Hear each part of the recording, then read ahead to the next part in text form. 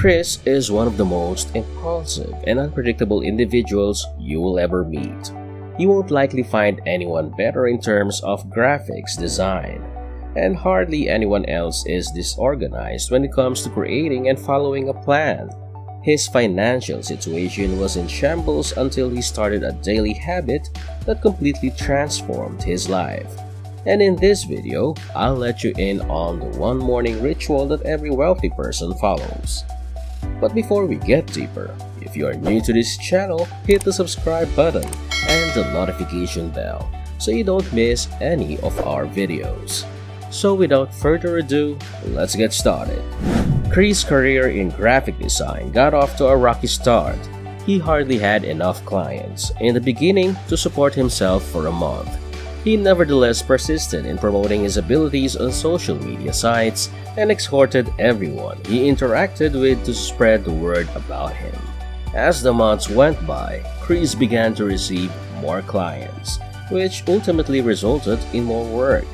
Although many of his clients weren't pleased, he was, and let me explain why.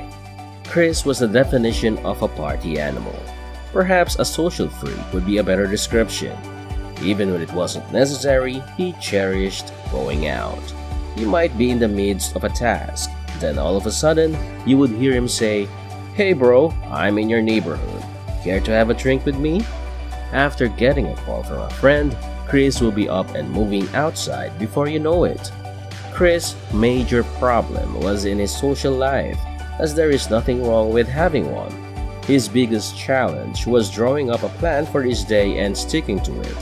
He got out of bed when he saw fit, slept anytime he liked, and worked only when the thought crossed his mind. Chris got a contract from his friend Marco to build a website for a company in his town. The contract was worth more money than he had ever made from a single client. One side effect of this time mismanagement was that he started handing in deliverables late. Chris failed to realize that the more work he had to do, the better organized he ought to be. Unfortunately, his tendency to not schedule his days had an impact on how he carried out his work. He was forced to choose between doing his job visiting his parents, and responding to every request for alcohol. He didn't know what time was supposed to be spent on what task, which led him to miss several deadlines, including the one for the lucrative website contract he recently received. His clients were quite upset when he missed the first deadline because they run a serious, well organized company and had to meet the deadline for the website launch the business was compelled to cancel the contract with Chris, leaving him with just the advance payment made while continuing to look for someone else who could complete the job on time. Chris was greatly hurt by this turn of events. First of all, he had wasted enormous sums of money that he would have earned after finishing the project. Second, the person who helped him obtain the contract, his friend, was furious with him. To top it all off, Chris had used his credit card extensively for major purchases in anticipation of a sizable payoff from the contract, which he had now just lost. He was now in debt and had a lot of things he didn't need. Chris spent some time sitting on his couch at home and pondering why he wasn't able to meet the deadline. He just wasn't able to understand it. Fortunately for him, he was about to learn something that would alter the way he conducted himself. Later that evening, he was visited by his friend Marco and had a chat with him. He was aware of Chris' exceptional graphic design skills as well as his disorganization. What went wrong, bro? Why are you unable to organize yourself? Marco said. You had plenty of time to finish the first milestone, but you didn't. When asked why he couldn't meet a deadline, Chris said, I know, but I had some other things to do, along with some extra work at hand. As soon as he said it, Marco dismissed this weak justification. The issue isn't having a lot of things to do or work to get done. Your failure to plan your daily activities is the main issue. You must set aside time for specific pursuits and exercise sufficient self control to stick to them. Chris listened as Marco explained that Wednesday planning is essential to how much one can accomplish in a day and ultimately for the rest of their life. He continued by offering Chris some suggestions for organizing his day and effectively completing all of his tasks. Tip number 1. Make a list of all your tasks. Chris had never done this before, so the idea was quite foreign to him. Marco said that outlining one's daily tasks, either on paper or a smartphone notepad, can help an entrepreneur thoroughly get organized. He went on to discuss the benefits of writing down daily plans. He mentions that it serves as a reminder of your daily obligations. You can set aside specific times for each task. It can help you meet deadlines and it can keep you from getting sidetracked with unimportant or distracting activities. Tip number 2. Plan the same time every day. They claim that if you consistently do something, it will eventually turn into a habit, and we all know how difficult it is to break habits. Before going to sleep the previous night or as soon as you awaken in the morning, you could plan the following day. By doing this each day, you can make sure that you complete all of your tasks on time and without skipping a beat. Tip number 3. Put the tasks in the order that you want them to be completed. This advice has several potential outcomes, your most crucial task might be the one you have to complete last, while your least crucial task is the one you have to complete first. All of this is based on the task at hand and the time of day that works best for you to complete it. Tip number 4. Set up interval reminders.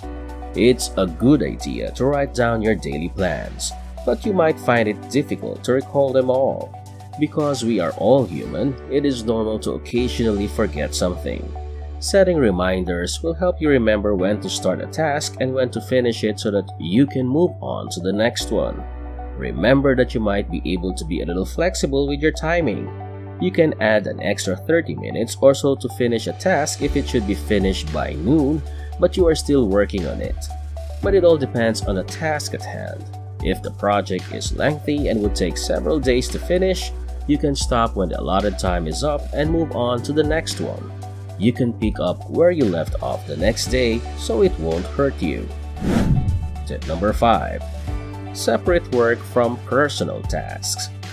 It can be confusing and occasionally distracting to combine personal and professional tasks. It's a good idea to focus on personal tasks like cleaning, laundry, etc. in the morning. Then follow up with a list of the tasks you have for work that needed to be completed, say by 8 a.m. and 5 p.m. You can take care of other personal tasks later in the day after work is finished. This could involve going to see a loved one, doing the grocery shopping, or even just hanging out with friends. Your to-do list will help you be very productive at work while still managing your personal life if it is divided into work-related and personal activities. Tip number 6. List the minimum of two things you have to do each day. Every to-do list must include at least one personal task you cannot neglect and one related to your job that you cannot put off. Such tasks should be boldly written out so that you don't forget them.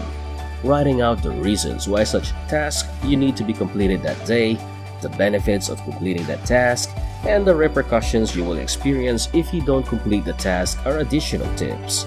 Even when you start to get lazy about these tasks, the importance you place on them will keep you motivated to complete them. Tip number 7. Include some quick tasks in your list.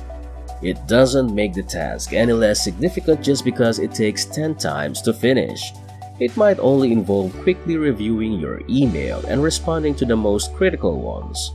You won't need to spend much time on this, but I assume you understand the value of regularly checking your email. These kinds of quick tasks are crucial. Consider this. That email might include a suggestion, a job offer, or some other kind of advantageous opportunity that you wouldn't want to pass out. Tip number 8. Refer back to your list as often as you can. The last piece of advice Marco gave Chris was to regularly review his list.